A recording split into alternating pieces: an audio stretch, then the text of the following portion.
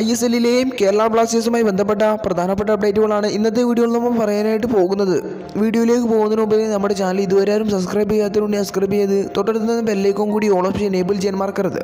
ഇതുകൂടാതെ തന്നെ ബ്ലാസ്റ്റേഴ്സിന്റെയും I S എല്ലിന്റെയും മുഴുവൻ അപ്ഡേറ്റുകളും പെട്ടെന്ന് തന്നെ ലഭിക്കാൻ വേണ്ടി നമ്മുടെ ടെലഗ്രാം ചാനലും ഇൻസ്റ്റാഗ്രാം പേജും ഒന്ന് ചെക്ക് ചെയ്ത് നോക്കുക. ഡിസ്ക്രിപ്ഷൻ ബോക്സിൽ ലിങ്ക് കൊടുത്തിട്ടുണ്ട്. ആദ്യം തന്നെ ജംഷർപൂർ എഫ് സിയുമായി ബന്ധപ്പെട്ട അപ്ഡേറ്റിലേക്ക് തന്നെ വരികയാണെങ്കിൽ നിലയിൽ ചെന്നൈയിൻ എഫ് സിക്ക് വേണ്ടി കളിച്ചുകൊണ്ടിരിക്കുന്ന ജർമ്മൻ സിംഗിനെ സ്വന്തമാക്കാൻ വേണ്ടി ജംഷർപൂർ ഇപ്പോൾ രംഗത്തുണ്ട് എന്നുള്ള റൂമറുകളാണ് പുറത്തു വരുന്നത്. ട്രാൻസ്ഫർ മാർക്കറ്റ് ഓഫ് ഇന്ത്യ അടക്കം ഈ ഒരു കാര്യം റിപ്പോർട്ട് ചെയ്ത് കഴിഞ്ഞിട്ടുണ്ട്. ജംഷർപൂരിന് പുറമെ തന്നെ എസ് സി ഈസ്റ്റ് ബംഗാളും ഇദ്ദേഹത്തെ സ്വന്തമാക്കാൻ വേണ്ടി ശ്രമങ്ങൾ നടത്തുന്നുണ്ട്. അതുപോലെ തന്നെ ഇന്നലെ ആയിരുന്നു ഐ ലീഗിലെ ഗോകുലം കേരള എഫ് സിയുടെ ലീഗ് ഘട്ട മത്സരങ്ങളിലെ അവസാന മത്സരം നടന്നിട്ടുണ്ടായിരുന്നത്.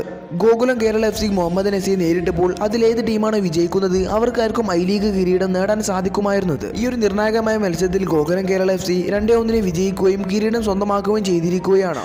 അതുപോലെ തന്നെ കഴിഞ്ഞ കുറച്ച് ദിവസങ്ങളായി കേട്ടുകൊണ്ടിരിക്കുന്ന ഒരു വാർത്തയാണ് ഹൈദരാബാദ് എഫ് സിയുടെ സൂപ്പർ താരമാരുള്ള ആകാശ് മിശ്ര ബ്ലാസ്റ്റേഴ്സിലേക്ക് വരുമെന്നുള്ളത് ഹൈദരാബാദുമായി കൂടുതൽ കോൺട്രാക്ട് ഉണ്ടെങ്കിലും ട്രാൻസ്ഫർ ഫീ നൽകിക്കൊണ്ട് ഇദ്ദേഹത്തെ ടീമിലെത്തിക്കാൻ തയ്യാറാണ് എന്നുള്ള റിപ്പോർട്ടുകളായിരുന്നു പുറത്തു വന്നിട്ടുണ്ടായിരുന്നത് എന്നാൽ ഇന്നലെ ട്വിറ്ററിലൂടെ മാർക്കസ് മർഗലാവയോട് ഹൈദരാബാദ് എഫ് സിയുമായി ബന്ധപ്പെട്ട അപ്ഡേറ്റ് ഉണ്ടോ എന്നൊരു ആരാധകൻ ചോദിച്ചപ്പോൾ മാർക്കസ് പറയുന്നത് ഇങ്ങനെയാണ്. ഹൈദരാബാദിന്റെ ഒരു കീ പ്ലെയർ ടീം വിട്ട് പോകാൻ സാധ്യതയുണ്ട് എന്നതാണ്. ആ ഒരു ടീറ്റിൽ തന്നെ ഓഗ്ബച്ചെ പോകാൻ സാധ്യതയില്ല എന്നും ഇദ്ദേഹം പറയുന്നുണ്ട്. അതുകൊണ്ട് തന്നെ അത് ആകാശ് മിശ്ര അയക്കാൻ തന്നെയാണ് സാധ്യതകളുള്ളത്.